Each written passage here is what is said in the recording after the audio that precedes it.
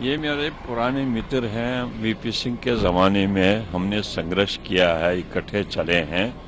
तो मैं इनसे आज आया हूँ।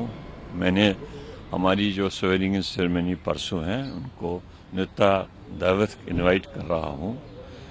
बाबी के साथ वाइफ के साथ आ जाए और हमें इज़्ज़त मिलेगी उससे। सर तो आप जा रहे हैं। हाँ। क्यों नहीं जाएँगे?